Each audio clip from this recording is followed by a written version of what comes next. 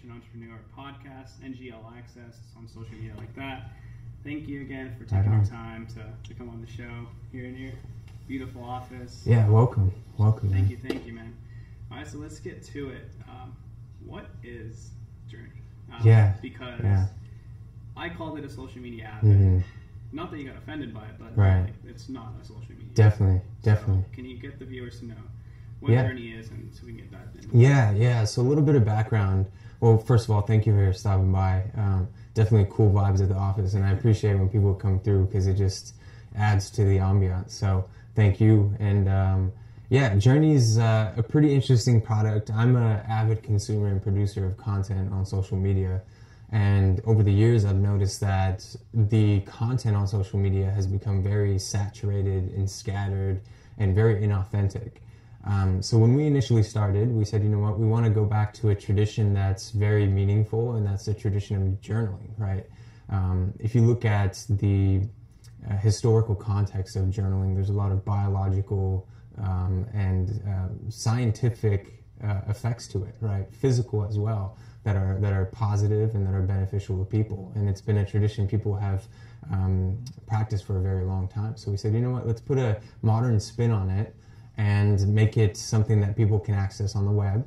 Um, but we added a layer of emotions so that people can connect authentically to other people that are going through the same emotions and so on. Uh, when we launched, we noticed that there was very little traction and uh, progress in terms of funding. So we sat down as a team and completely rethought what it means to have a technological platform in the environment nowadays. And this brainstorming session was incredible because we said, you know what, the future of mobile, the future of social media in general is um, going to be in uh, a place where people can access their their platforms very very easily, and that's mobile. So we're going to be shifting towards that direction. We also noticed that text and photo was slowly kind of dwindling, and the proof of that is the boom of uh, uh, platforms like Snapchat. I mean, just today, I think Snapchat numbers came out, and um, they have more active users daily than Twitter does, and that shows a lot. It means that people are slowly drifting towards a place of video content, interactive content, and we noticed that. So we pivoted, and now we're at the concept that we're at now, which is a video journaling platform, still focused on emotions, but very topical in a sense that you know if you're a pregnant mother going through pregnancy and you're journaling about you know um, a specific experience and you're surprised about it you can connect to other mothers that are going through those similar emotions and experiences. So very topical, very Pinterest-like, but for video. And the way we approach uh, people with Jurni is, you know, it's authentic, unfiltered reality TV. We want to be able to incentivize people to post on Jurni in the future. Let me ask you a question. I know I'm like flipping it, but like um, on social media, um, have you experienced direct monetization? Have you been able to monetize off of any of your content you've posted to date? Uh, today I wouldn't be able to. Right, right. Uh, I can say, well, this is a little cheating because I've studied Gary Vaynerchuk. Sure, so sure, I, sure. I can say directly no. Right. Through it, like if I post something and hey, Correct. So check this out. Yes. Yeah, maybe. Yes. But do you know that a lot of these platforms are actually monetizing off of your content directly? Yes. So it's it's kind of backwards, and we noticed that gap, and we said, you know what, we want to put power into the people's hands and say, you know what, if you're um, Mario and you have amazing content, right, and you're journaling about fashion and sports and you know family and food, and people love this content. At some point, a little bit down the road, we'll be able to have people subscribe to those those specific topics on a micro subscription basis. So you know, I, I could pay 30 cents a month to consume all of your amazing content and that incentivizes you you know? Get better content. right right. So there's really interesting ways we're implementing monetization but it's not only for Jurni to continue as a profitable company but for people to be profitable brands you know? We're building a, uh, a portal where uh, influencers and brands can connect to each other and converse about ways to promote products. Because we're video only you know, huge companies like Nike and Coke and all these people will come to our influencers on Jurni and say, hey, promote this product or service and um, we'll pay you some odd dollars and we share that mon- uh, the, the revenue. So there's this really elaborate and awesome monetization scheme that we're trying to go towards. And that's to make not only uh, content on social media more authentic, but to allow it to be incentivized because a lot of what we're doing on social media is just a reflection of who we want to be, not who we really are. Because there's this like stigma of I gotta be like Kim, I gotta be like Kanye, I gotta do all these things. I'm wearing a Kanye shirt, saying so. Um, but that's a different subject. But point is, is you know, we're trying to say that everyone has a unique story, and it's time for those stories to be publicized. So a great example. I know I'm doing a lot of talking, but a, a great example is you know, we partnered with um, BORP, B O R P, and they're a recreational disabilities facility in Berkeley, California. A lot of amazing individuals that have incredible stories about, you know, their disabilities, and um, there's veterans that have unfortunately no legs and they're learning to relive their lives and participate in sports and things of that sort. So we're connecting with this audience very uh, emotionally and having their stories be told to the world so that other people that are going through the same exact things can understand and empathize and be able to be exposed to a story they haven't really been exposed to.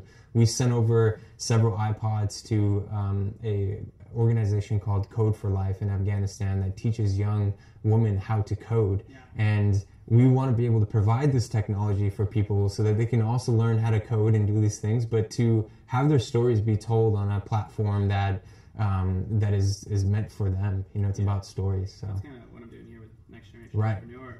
Um, there's there's a bunch of other guys doing interviews. But Yeah, I feel like yeah. they're interviewing the Zuckerbergs, the, the Yeah, Vaynerchuks. yeah, yeah, At the end of the day, a lot of times people can't relate to yeah, these people. yeah. So having a lot of the people that I'm actually doing, they're very young and they're Right. very new. right, So I feel like people can direct, uh, correlate themselves. Right. The next question I'm going to ask is, cool, you have an app. Yeah. What makes you any different than Instagram, than Snapchat? Yeah, than yeah. Uh, for the other people who are trying to get into the Right. social media game, right. how do they differentiate, differentiate themselves? Right, How right. did you? What struggles did you go to by doing that? Yeah, this is a great question. So, one of the things you got to really notice right off the bat is that we're a young startup. We have a cool space, but we do not have billions of dollars in the account, right? So, going to your point about getting real stories out, grassroots stories, is very key for me because we see all of these success stories, but there are millions of apps in the App Store that struggle on a daily basis. And um, to be able to give this platform for people is awesome. One. Number two, how do you differentiate yourself in a crowded environment? One thing to notice right off the bat is that it's not easy. The environment for investments, environment for social media apps, and apps in general has become so saturated and scattered that you know launching a product is has become tough. Yeah. Just launching it has become tough. And then there's this whole thing about attracting users, growing that user base. And I don't know if you're familiar, but there's this marketing term um, called uh, the chasm, crossing the chasm. Yeah. And essentially, you know, you launch, if you're lucky to launch, which a lot of people can't do, and you get a couple hundred, a couple thousand users. And then jumping from that initial user base of pioneers to the mass market is where a majority of businesses fail because their team isn't ready, their product isn't ready, their marketing isn't in place, they just don't have the knowledge to do so. Nowadays, being successful isn't necessarily about um, coming up with the craziest idea that no one has ever seen. Granted, if you do that, you win, right? But Not necessarily though, because you can have a great idea and not True. and not execute. Absolutely, absolutely. But now, I mean, I could release a an app tomorrow that looks very well and um, gives you, let's say, it's like the Yelp for uh, toilets around San Francisco. Yeah. Honestly, Yeah. like I'm in San Francisco and I need to use a restroom, I can quickly open up, maybe yeah, and you can see, you know, which bathrooms are clean and so on. Yeah, exactly. You can have it. But point is, is I mean, that's a there's a use for it, right? Maybe it's catchy, maybe not. But uh, having an app out there and having a team behind it is one aspect. But the other is, you know, having a product that is user friendly and the experience is great. Having a product that works well with people and people love is the number one step. You cannot have a team in place and just be completely scattered with your internal processes and so on. But if the product works, you'll get the funding you need. You'll get the you can build your team, and that's why so many people focus on just launching quickly. Biggest lesson I've learned is in a in a very scattered environment where it's tough to differentiate. You need to launch very very fast and be able to not be married to your ideas. something we talked about earlier. Absolutely. Yeah, you can only be married to a person, honestly. And so, and when you're launching products on the App Store or you know on the web, you're when you launch your product is instantly a global product. You have no ability to filter your customer base or user base. So you have to be accepting of their feedback. You have to be open minded. You have to be open to everything and attached to nothing. That's the mentality with with startups and businesses in general.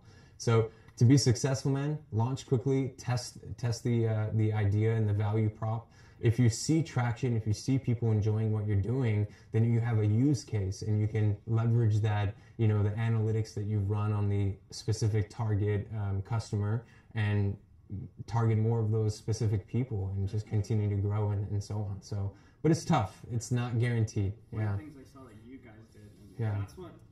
I saw I saw Shabazz tweet it, and I was Yeah. like, cool, cool app. Yeah. And uh, the one thing I saw in an interview, you said the only way people can reply back in Jurni is through Right. video, and It that is. changed the game for me Yeah. uh, because there is a lot of trolling, a lot of bullying, a a lot of great point. bad stuff Yeah. when it comes to text. When Mhm. did you make that decision to have no text Yeah. allowed Yeah. uh, in Jurni? That's a that's a great point, and this is comes back to differentiation. You know, we saw that there is a lot of content. One of our differentiation points is having categorical content. One, Yeah. right? So when I go to someone's Instagram feed or their Snapchat stories, I consume like all the bullshit nonsense that they're doing in their life and have to tap through all of their stories or scroll past whatever it is. But on Jurni, we have this concept of following topics, not people. So, you know, I come to your profile and I enjoy your food journals and I don't enjoy your family journals. I can just subscribe to the content that matters most to me, which is very focused in a sense that we're giving people the ability to consume content that they want whenever they want based on how they feel. One. Number two, is I'd say our, our money, you know, where our money's at, and that's in the video commenting threads. So we said, you know what, all these Instagram posts with hundreds of and thousands of comments um, are just trolling. You know, YouTube has this you know, bad habit of just horrible comments and bullying and so on. And I said, you know what, if you motherfuckers have something to say, get in front of the camera and say it. Like that's how the world should be. If I'm sitting here and I disagree with something that you're saying, I should have the balls to say, Mario, I disagree. You know what I'm saying? This is real life conversation. We're, this is not scripted for the audience. Yeah. This is us just bouncing off of each other. And that's how life should be. And that's when we're most authentic. So we said, we're going to adopt that same um, mechanism of real life communication and do it through video comment threads. So if you feel strongly about my food journal, you can leave a comment on my food post and I can have a visual interactive discussion. The crazy thing with Snapchat is how great it is. It's it's very one dimensional in that people are consuming stories but they're not interacting with your stories. And there is one way interaction when you can send a text or a photo or whatever, a, a short video to that person. But on Jurni, we have this way where you can participate in discussions of other people. You can see discussion threads. You can uh, uh, begin to understand different perspectives. And that's where our differentiation point is. You can't just launch another Snapchat that looks different and hope to win. You're not going to win against the b- big players. They can, you know, turn over, you know, things overnight that you can't do because of your resources. So really have to drive home the differentiation. And then on top of that, make sure that you're protected. So we filed patents for the video commenting threads to make sure that, you know, any players in the future that want to do similar things would have to somehow go through us. Facebook, which um, I texted you. Yeah, Or I yeah, tweeted. I was yeah. Like, Yo, Facebook just did the fucking uh, The reactions. the reactions yes. Yeah. Yeah. uh, that caught me crazy. Right. Wow.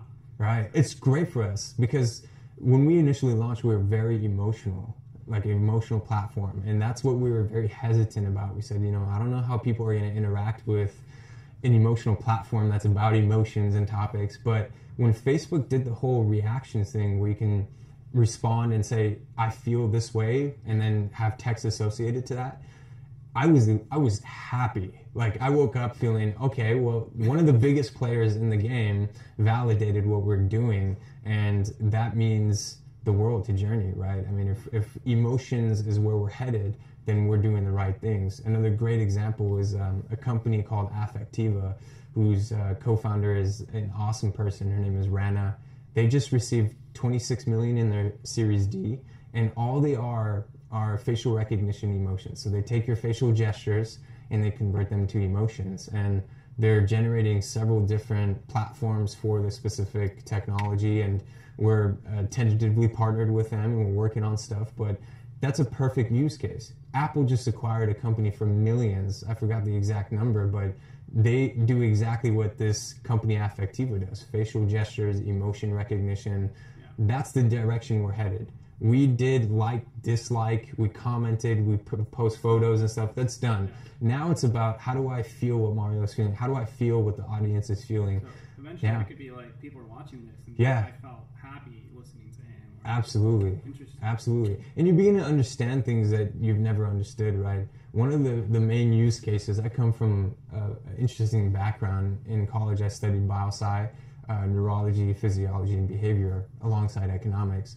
And so the health industry is very important to me. Um, I didn't go to med school and I got my MBA, but that's my personal choice. And I've been able to still have a foot in the door with health. And one of the big applications we want to hopefully use Jurni for is to be, begin understanding patients, you know, stories. You know, people that are going through cancer can use Jurni to show their emotions and show their topics that they're going through and to be able to understand the trends of emotions and associate them to experiences. I mean, who knows? You might be able to find some type of cure for cancer and emotions. You never know. I mean, that's the direction that the world is headed, though, and we're kind of at the forefront. So, yeah. Uh, this this question is kind of um, it's from one of my viewers, a good buddy. Actually, uh, he was on the show. He Right. was a car salesman. Okay. He asked me this question: How? And I'm pretty sure a lot of other guys are going to ask this question. Yeah. Yeah. How, I have an app. I want to start an app. Mm. How do I get funding? Yeah. Uh, you recently, congratulations, on Thanks. the big funding from the CTO, of ex CTO of Yahoo. Yeah. right? Yeah. Absolutely. How, how did you get in contact with these people? Yeah. How does this happen? Yeah, uh, man. As a as a startup CEO, I think the biggest challenge is getting the money to keep pushing your business forward. You know, you can have the brightest design minds, you can have the greatest brand team, you can have a great product, but if you're not uh, raising the capital to do the things that you want, it's tough. But in this environment, especially now, the investment you know environment has changed, right? So ten years ago, you can fart an idea and you'll get five Yeah, million. so in the world. right, but now it's changed, and I think you know there's a lot of pushback in terms of like people talking about a bubble in the Bay Area. They're talking about you know the the um, the lack of um, investment resources and things of that sort. And I experienced that firsthand, man. I've went out we, when we first launched. Like two days into it, we had several thousand users on the platform. All great. And when you think about like pitching it to investors, you're like, they're gonna love this. Several thousand in the first two days. It's, we're gonna get cash, no problem. I go to like 10 to 15 different pitch events within two to three days. I pitch my heart out and we do extraordinarily well. We get a lot of great feedback, but it didn't result to a, a cash option, right? People didn't put in the money. And it's tough. A lot of people want to see your team struggle and go through the hell of like being close to fail and then get past it and then get to mass market before they dump their money. And that's why, as a young startup, the only real viable way of raising money is to go to angels and try to get money from people that you network with.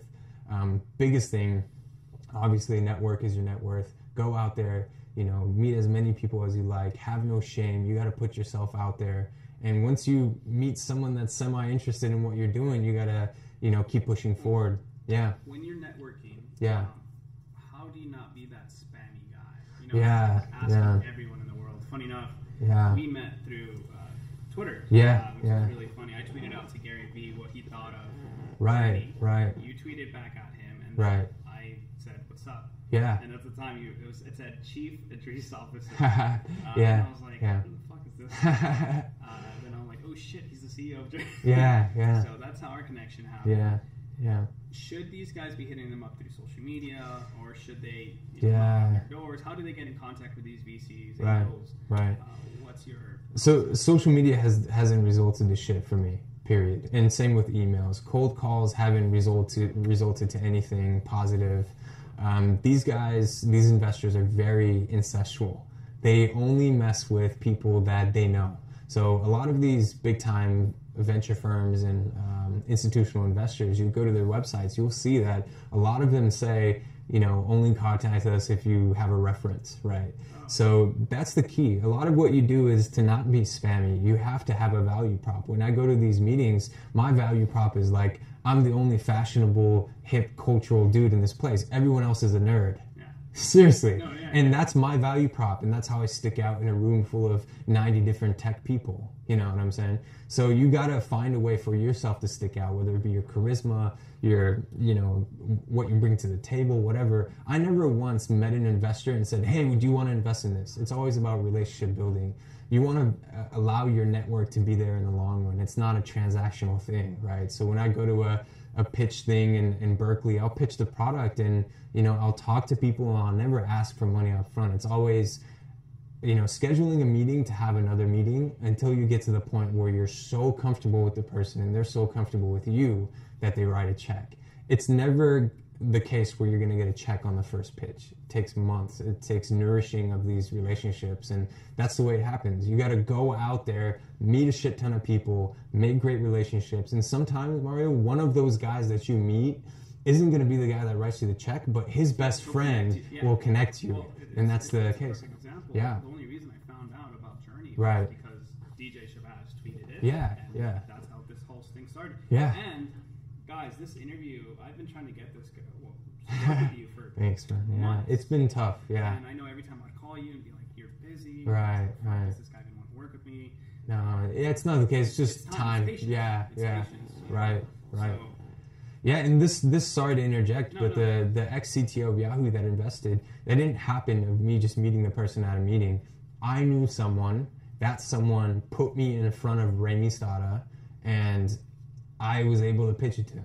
yeah. And you know, funny story is, is dude, before that meeting, dude, I had this like major anxiety attack. It was like the first time where I was like, man, we absolutely need the cash, or else we're gonna completely just go down the drain. Even though people love what we're doing and they think that we're like doing well, Yeah, we don't have anything, you know, to show for. We're scraping for our cash. So I'm driving to this meeting and I'm like, I get this anxiety attack. I pull over. I go to a gas station. I puke, and I ended up being like two minutes late to the meeting, and I in the car before I went inside, I told myself this shit is not worth it, dude.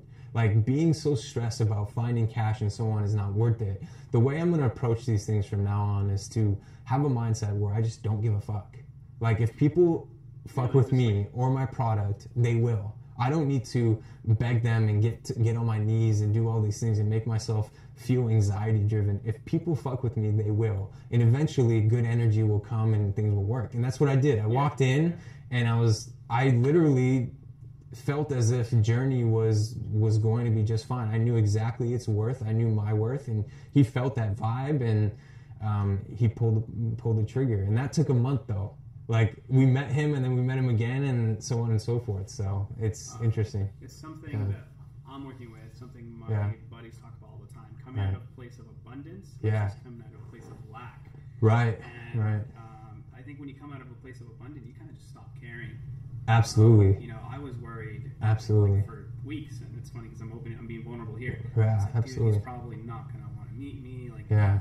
why does he want to even meet me? And I was like, you know what? It's okay. Right. It's fine if he doesn't want me. It's okay. Right. I'll find other people to right right And it just happened naturally. yeah yeah it happens So- when you and that's dude i'm telling you it's not a matter of me not meeting you by the yeah, way yeah, it's it's yeah. just so busy and when you don't force things you know it's and you allow them to happen naturally a key thing for me biggest lesson i've learned is to not stress about the things that i cannot control, Control, yeah. and that's the hugest lesson i mean you have employees you have things that are just moving and for you to be stressed about every single piece and bit of the project makes you so spread thin. You know, you get physically drained, mentally drained. So now what I do is I think about my life in states, right? I come to the office and I'm like, all right, right now I need to be motivated. I need to have energy. I need to accomplish these tasks.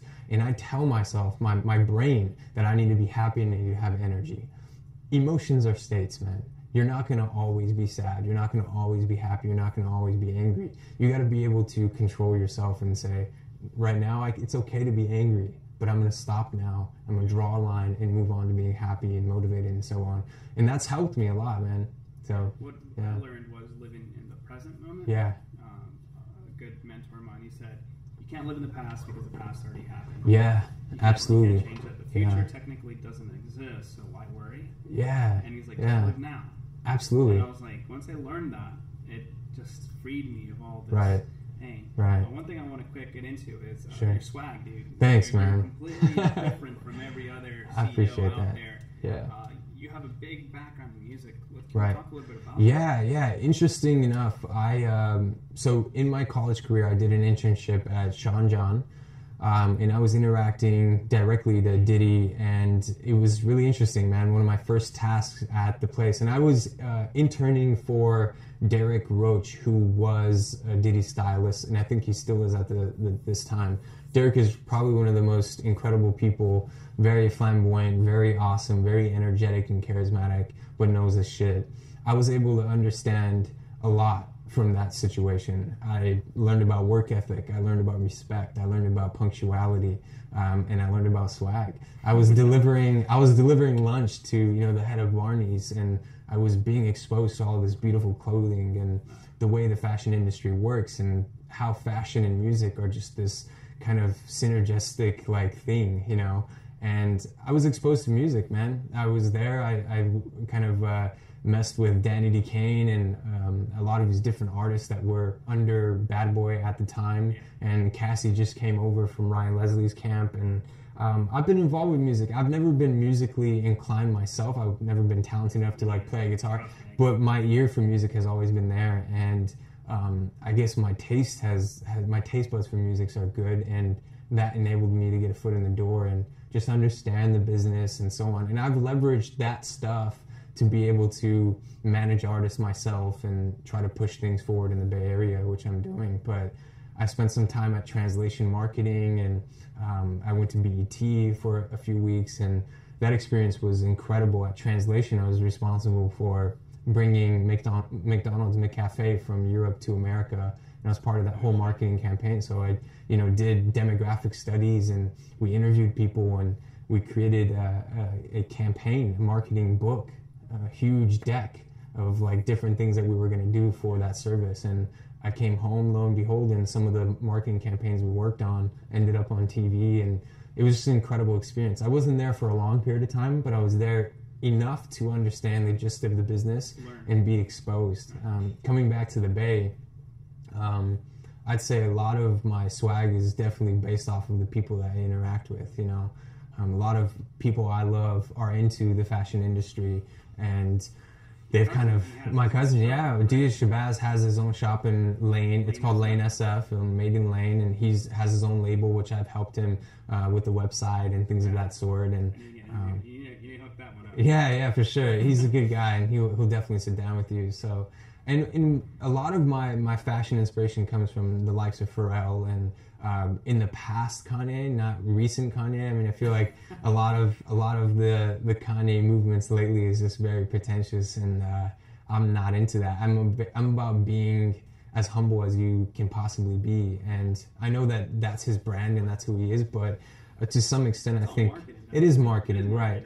But I'm all about you know the the impact through your character. You know, I- when you leave, your you your work is definitely left. His work is definitely going to be there, but there's going to be a lot of people that have a this shaded view of him, a Yeah. tainted view of him, and that's and why isn't Pharrell viewed that He'll way? You know, be, he'll yeah. never be because he has this different persona. Granted, I respect his creativity to the next level. Kanye is like thing, yeah. up here for me when it comes to like Steve Jobs and so on. But I gotta find my own brand, and that brand is just being nice. yeah.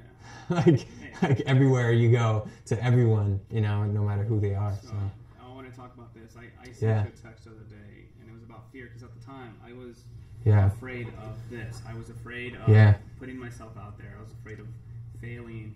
Um, Yeah. For those guys afraid to, to start their next project, fear is something Yeah. that really holds people back. absolutely, man. You sent me a really long text, and I still have it. I'm Yeah. post it up eventually. But Right on. why? How does? Let me try to word this properly. Um, how, why does fear stop us, or how, why do people let fear stop Mhm, us, and how mhm. can we overcome that fear? Yeah, yeah. Fear, fear is an interesting thing, man. I think it stems from a lot of who we are. Our n- natural, instinctive things are to run away from things that are potentially going to kill us or hurt us, and so on. I mean, fear is ins instilled into us. It's just a matter of us being able to manipulate it. If you don't have fear, you won't be able to be a human being. You have to have it to some extent. The key is understanding that um, you have to direct fear into things that matter and not direct it into things that don't matter.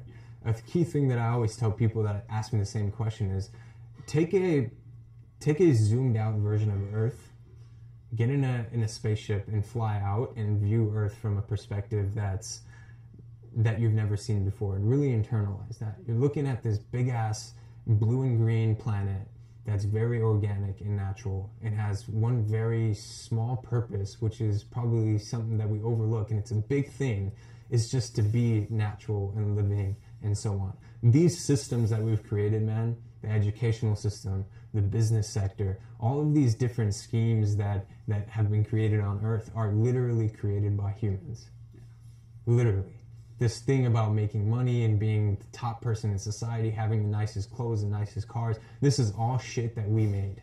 And when you begin to really internalize that, you begin to lose complete respect for for fear when it comes to things you can control. Starting a business does not have anything to do with life or death. It doesn't and it should never affect your motivation or inspiration, right? Life is about being and living and contributing and impacting. The fear of losing money, the fear of failing, the fear of this, the fear of that is taking everything personally. It's like saying, I matter, my ego is the biggest thing in this world that matters, therefore I will allow fear to exist because I don't want it to hurt me, I don't want it to affect me. When you begin living for others and not yourself, fear kind of just dwindles, man. I'm starting a business so that it can impact people I'm starting a fashion line so that I can make people look good and feel good. When you begin to think that way and not like, oh, well, if I started and I fail, that's going to affect me and my, you know, reputation. When you get rid of that type of thinking and you literally think about impacting the world only, you live fearlessly. Period. You know. Yeah, I mean, uh, it's true, man. I mean, you think about like, you know, people that go out into the world and do nonprofit work and so on. They are the most fearless because they don't get big checks cut out. They don't get their name put up on television, but they're still taking leaps of faith to impact people. Those people are fearless. People that are scared shitless to start a business are thinking selfishly. Change that. Think about starting a business that impacts people and that does positive things, and don't think about yourself as the, the culprit, the main thing in this whole thing, and you begin to lose all that fear and all that bullshit think about sports and all that, it's the same concept. We we fear and and we fear things that we just simply cannot control, and it's all like egotistic. That's all, man. You just gotta get rid of it. Yeah. Yeah, yeah. it's crazy because I've read so many books and listened to a lot of audios. Right. Yeah, a lot of people say like fear is like, oh, it's this thing, dude. You gotta live now. And when you live now, you lose all sense of fear. But that's bullshit, dude fear exists. It's part of who you are. You just got to channel it and funnel it into different things. What I've seen based on successful people that I've talked to, yeah, fear is in them. They yeah. learn to take action regardless. Absolutely, bro. Every day I have a fear. Do I make this decision? Is it going to impact our finances? Is it going to impact our growth? Every, I mean, as an entrepreneur, you got to have fear to some extent. It's just a matter of viewing the probabilities and going with a route that is most favorable. Entrepreneurship isn't about jumping off a cliff, dude. It's about jumping off a cliff that's strategically, you know, is there going to be a pad at the bottom for me to land on? You know what I'm saying? It's about looking at your probabilities, reducing risk as much as possible. Some people think quitting your job and quitting all this bullshit and just jumping into entrepreneurship is entrepreneurship. That's false. You can be an entrepreneurship in every realm of life. You can work corporate America and still have the spirit of an entrepreneur start new ideas and things of that, that sort. next question. Yeah. Uh, we were talking about entrepreneurship, and it's my show, Next Generation, Next Generation Entrepreneur. Yeah. What is an entrepreneur to you? Yeah. Uh, so I went to Babson College, and they're ranked number one in entrepreneurship in the world. Um, and I was very lucky enough to be able to get an education from them and leverage a lot of the techniques and so on. And the main thing they teach you is that entrepreneurship is really just about, you know, a few things. It's about harnessing the spirit of creativity and innovation yeah. and implementing it through action. So it could mean that in, in any context, man. I could have a nine to five job and I can be an entrepreneur. Yeah. What does that mean? It means being at my job and finding ways to solve problems within my existing business, helping create new ideas within an organization. A lot of companies like Google and Apple have teams focused on just building new businesses within the corporate realm, right? So Nike um, has opened up several positions in the past several weeks, and, and the positions are entrepreneurs and re- residents. So these people work for Nike, but they create businesses within this umbrella, and there's teams that help collaborate and do these different things. Um, you can have a small business. You can have a fashion label. You can be an entrepreneur in, in, a, in an artist, Yeah. right? A, a musician. A I think the purest form of um, entrepreneurship is in artists, right? I mean, I think for a very long time, people that paint, people that create art, don't get paid the craziest amount, you know, but they do things that go out on a limb and they create and they impact and so on. They're innovative. That's entrepreneurship. You don't have to get paid to do things that are. Learning. Yeah. Yeah, And then yeah. that revolves the next thing. What is what does success mean to you? Yeah, yeah. Success is, um, first of all, success doesn't mean anything if it's not shared. One. Um, and to me at least. And number two, success means uh, fulfillment. Um, there's times where you can, you know, people have won Grammys, people have won Emmys, people have won incredible awards, have made billions of dollars, but they lack something within, and they've abused drugs and they've done horrible things in their lives. You know, success is without fulfillment is, is failure and that's that's it fulfillment is making an impact on someone's life it's making a product that's worn by people that's enjoyed by people. Um, apple is a great example. You know that's steve jobs and what he did embodies success. Even though it hurt him and he ended up Yeah. dying um, his products and services lived on and they impacted people in a way that has completely blown things out of proportion. You know it's changed everything. It's a paradigm shift and that's success you know to be able to give people in third world countries tools to learn the same things that others in first world countries are learning that's success success is fulfillment impacting people on a uh, local uh, national global whatever it is as long as it's one person that you're impacting that's success you know I, I probably repeat this in every Right. interview, and people are going to get tired of it eventually. It's okay. Screw them. Uh, I've learned that everyone just has a different yeah uh, definition of success. Absolutely. And that's Yeah. the beauty of it. it's beautiful yeah Yeah. So I always try to end up with those three questions. The last one is: Is there a moral or philosophy that you live your life by?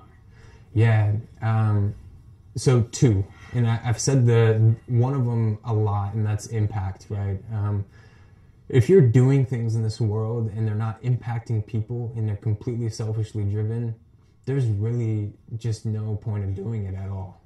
That's how I live my life. So whether it be um, you know, managing artists or creating different things or working with or consulting with other organizations and helping them building Jurni. Everything is about impact always. And that's how I stay motivated. I wake up and I'm like, how can I not make Edreece happy? How, how can I not make um, Edreece self-fulfilled? It's more so, how can I, um, how can Edreece contribute to this world? You know? That's changes. When you think like that, it actually Yeah. Causes you to get more. Oh, yeah, And it absolutely. causes you get more good stuff. Like, Yeah. I learned that. The Yeah. more you give, the more you get. Absolutely. That's very, very true. And that's how energy works, dude. You put in energy and it comes back in some form. Um, the second is this phrase that I, I live by, and it's adapt or die. You know, um, whether it be in the business realm, your own personal self, whatever it is, you have to learn how to adapt. You know, this is how things have existed. This is how certain things exist today, is they've constantly adapted. You know, the natural environment they've learned and they've they've changed their form to be able to live and survive, and you got to be able to do that. In the business realm, it's understanding the business landscape, it's understanding the competition, it's understanding differentiation, and constantly finding ways to stay relevant and innovate yourself it's adapting in any scenario you know um, it's me being here and being myself and then going to a dinner with very sophisticated people and understanding that i need to maybe not act the same way or not use the same language adapting you know um, to the certain environment is key you got to be like a chameleon Actually, that's a you good know thing. Yeah. Uh, Yeah. Tai Lopez said that. You got to learn how to be a chameleon in life. absolutely And I messed up a lot of times on that one. So a lot of people do yeah and and that's it comes back to this thing about people having this sense of complacency you know like they're so stuck on one way of living and they're like this is it this is all there is I, I tweeted. Yeah. it. I don't know if you saw it. Uh, i don't think i have Shout out to my homie Trey. So yeah he said, bro, like I asked him, what's one of my biggest flaws? And he said, you are so stuck on Yeah. one way. He's Yeah. like, there is no right or wrong in life. yeah absolutely There is no right or wrong in life. No. There's just not. yeah I, if all these self-help books actually worked everyone in the world would be happy Yeah. Bro there's there's no definition of how you should live life one. And i think the key to stay successful is um, one it's funny successful one of the big words is full and fulfillment is you know there's there's this kind of synergetic thing there. Um, but point is, is you got to be able to adapt you know and you got to be able to understand the environment and be open to everything and attached to nothing um, and live with a sense of fulfillment um, alongside all of these things and you will be successful so So Yeah. I feel like we'd honestly be Cool. here all day. yeah I, I can go on and on dude You got a good uh, interview, not an interview. Uh, Meetings, meeting yeah, three. yeah. But I've, I've been doing this, and they're gonna catch on. I Right. always give a gift to my interview. oh right on So, cool you didn't have to man We met through, we met through this guy. It, it's interesting how it plays along, but uh, so we met through Twitter because of this guy. So I figured. oh right Give on you the book. oh right on dude um, I've that's awesome Read it and listened to it, so I feel like you're gonna. I really appreciate that, dude. Gary Vee is like the ultimate, the ultimate motivation and inspiration. The dude going back to adapting, the, his is. his he's like the definition of adapting. All of his businesses. I mean, he is open to everything. A new business comes out, social media platform that he sees he can leverage for his business. He will go in and attack and learn, and he's just like a monster. He's If a guys monster. haven't already, I, I probably Yeah. mention him all the time. Please Yeah. take a look at Gary Vaynerchuk and what he has to say. Right on. Yeah. And man, shout out to Gary Vee, man. If he's ever willing to sit down and talk, I'd love to pick his brain. And uh, I feel like, um, One day, bro. yeah, one day. Hopefully, I'll meet him and you gotta Yeah, exactly, exactly. And before we cut, man, I know my homie Danny is over there, and he put me on blast for wearing a uh, Kanye shirt. So I have to c- come correct. Um, I respect Kanye. I love Kanye. Uh, I just his his character. Don't get That's all. Bro. I, I, I, I, mess with Kanye heavy. I love his music. Obviously, Yeah. it's changed a little bit. Right. Yeah, we all change. So it's all Yeah, yeah. Thank you again, man, for Yeah. being on the show. Right on. Thanks, Mario. It was a pleasure. Thank you. Thanks, bro. All right.